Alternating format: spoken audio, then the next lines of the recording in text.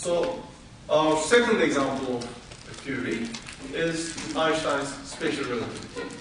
And we already mentioned the third example, which is again Einstein's general relativity, which includes not just things moving at constant speed, but also things whose speed changes or are accelerated.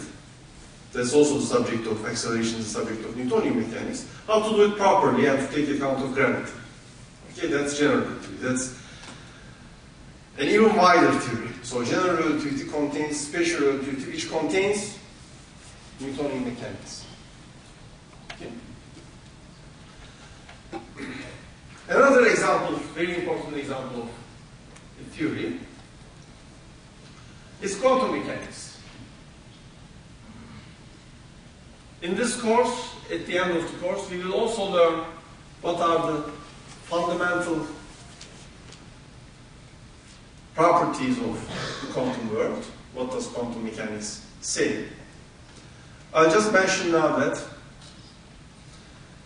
without quantum mechanics, it is impossible to understand anything about the structure of matter, about atoms, about molecules, about our bodies, anything. Okay? But if you look at what quantum mechanics says, which we'll learn at the end of the course, it is extremely unusual, extremely strange in terms of our daily experience. In our daily experience, we don't see directly the results of quantum mechanics. We see them indirectly all the time because without quantum mechanics, this would, would not be hard. Okay? And the water molecules would not hold together. I mean, they would, of course, but I wouldn't understand how they do that. Okay? But what does quantum mechanics say? Quantum mechanics says little objects, particles, are at the same time both particles and waves. They have a wave nature. Electron is a wave. In fact, according to quantum mechanics, I am a wave too and you are a wave, you have a wavelength. But my wavelength is so, so, so very small that in daily life, I never realize that any of the macroscopic objects around me have any wave properties. It just doesn't show up. It's too small. Now notice that very powerful theory like quantum mechanics, just like relativity, can make some predictions, in fact, almost all predictions of quantum mechanics, which are extremely strange and difficult to understand and difficult to accept. Why do we accept them? Because they are, after all, tested and they explain all kinds of things, including very basic things that Newton's mechanics cannot explain. This is where a scientific theory differs from ordinary daily common sense. Because it's a lot more sophisticated, a lot more systematic. It can do, it can base the knowledge on experiments of the kind that you cannot do just on your own in your daily life. But nevertheless, these experiments are done by a large number of people. So notice that a scientific theory can be strange. The things that it can it says will sound unbelievable. This is true with a lot of modern science. However, we don't accept just because it's a very nice sounding theory. It's a sort of popular speculation. We accept it because it has been tested. Another example of such a theory is what I brought up before, evolution, which is still all over the world so much debated by the public because it's very difficult to believe what it says. And it seems to contrast some implications of religion. I say seems to. Okay? But then the question I have to ask is, has it been tested? And it has been tested many, many times Uh, in terms of the fossil record. And it's something that is difficult to understand because it says, it talks about processes that went over hundreds of millions or billions of years. That gradually, by accumulation of very, very small changes, eventually produce unbelievably, in terms of our daily experience, big changes. Okay? But the fundamental position of this theory is that not all different kinds of living things appeared or were created or whatever separate. They are related, they have come from common ancestors a very, very long time ago. Now, we know this from, we have checked this from two different areas of evidence. The more recent one is molecular biology which is very recent and unexpected. It developed in the 1950s. But it allows us to check molecularly the DNA, and it is, therefore we have proof that heredity, culture, proceeds, the information proceeds from one generation to the other by this DNA, which is extremely complicated, and it can have very small random mutations, as evolution predicted. Moreover, now we are able to construct the genome, whole bits of DNA of different uh, kinds of uh, living things. Okay? And what happens? We find that things based on the fossil record and based on the predictions of evolution are supposed to be closely related. If you look at their DNA, there is a big amount of overlap in the DNA. And then scientists can work from that, predict uh, how far back in time, 100 million years or whenever, these two species had a common ancestor. And this agrees what is found from the fossil so there's very strong evidence. Okay? So that, that makes the scientific theory in the sense that it has been verified and it is still open to falsification, but it has not yet been falsified. Oh, it is very strong evidence. What is the difficulty uh, in the public discussion is that it seems to contradict, contradict belief. I say it seems to because religious belief or philosophical belief is something that can be interpreted differently by different sources. So it is possible to believe religiously and to also accept the scientific theory, provided your religious belief is not interpreted by somebody literally, kelimesi kelimesine.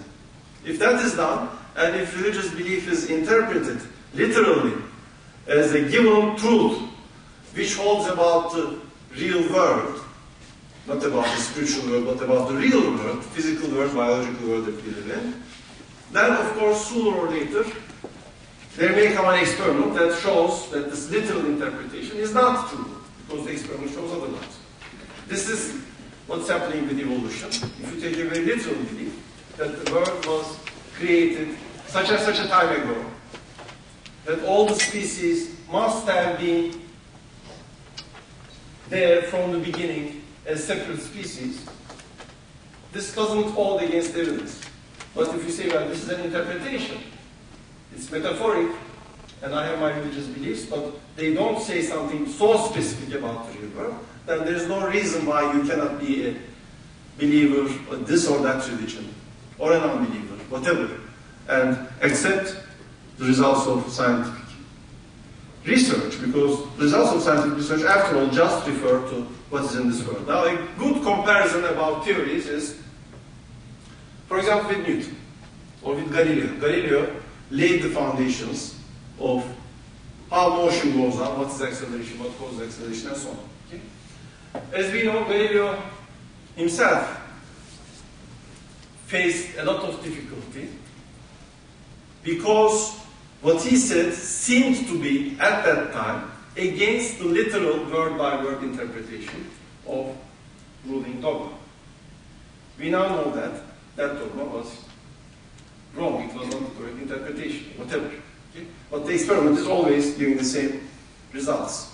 What Galileo got into trouble for was because he defended Copernicus, Copernicus's ideas about the solar system. He didn't even get into trouble for his own theories, but for defending Copernicus. Now we know that Copernicus is right. At the time of Galileo, when he was judged, people asked him, they found it very difficult to believe. Not everyone, but a lot of people found it difficult to believe that the Earth moves in space around the Sun. Because our daily perception is that we are at the center and we are not moving. Okay? And again, many of the opponents, people against Galileo at the time, were perfectly reasonable. They asked him the right question. They didn't say, we refuse to believe it. They said, show us the evidence. Why do I not feel that the earth is moving? Right? And then Galileo was able, when he first used the telescope, to show he discovered some things that he didn't even expect himself about Venus, about Jupiter, and so on, which showed that all of these things were moving around the sun and not around the earth. And then that convinced people. Okay. So, when a scientific theory is new, for the common public, there is a big difficulty in accepting it. And you shouldn't just discard that these people are stupid, ignorant, etc. It's not like that, because of course people want, after all, everybody thinks with common sense. Okay? At least some people want to see evidence. So, if somebody says well, it's just a theory, that is not a reasonable argument. But if somebody says, what is the evidence? That is the argument. Okay? Show me, convince me. Now, the difficulty with modern theories, like quantum mechanics, for example, scientists know a lot about the experiments that show quantum mechanics is right. But these are not the kinds of experiments that the man or woman from the public can see for herself because it's about atomic world, it's very sophisticated, the experiments are done at CERN. And then the public says, oh, you know, the CERN, they will black hole and it. It's difficult to get across the experiments. Galileo's advantage was, at the time the technology was simple and the important experiment to show that Venus must be moving around the sun, just took a simple telescope. And already at that time, a lot of people, a lot of cities at least, had somebody had a telescope, so people could look, it was more accessible. But quantum mechanics is not like that. Molecular biology, looking at the genome sequences and seeing how different and how similar and in what ways is a chimpanzee and a human being. This is not something that you know, everybody can test for themselves, therefore the public finds it difficult to believe. But you should always be very suspicious of anybody who says don't believe this because it's just a theory. Okay? What is taken seriously in science is an argument based on what is the experiment, can you do such an experiment, what is your prediction, what is my prediction, which one will turn out to be right. Then there is a version of the argument, so and so is a very famous professor and he has done these experiments, he has written a book. And it says there and I heard from my friend, though I read it in this professor's book, and the professor is very famous. It says there that this theory is right, this theory is wrong. Now, this is not an argument either, because you have to say, who else, other than this professor, has done the experiment? Okay, so it's not on the basis of authority, it's based on the practice of science as a whole. Okay? Now,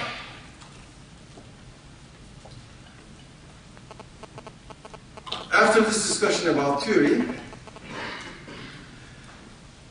I will go back to the example at the end of the last lecture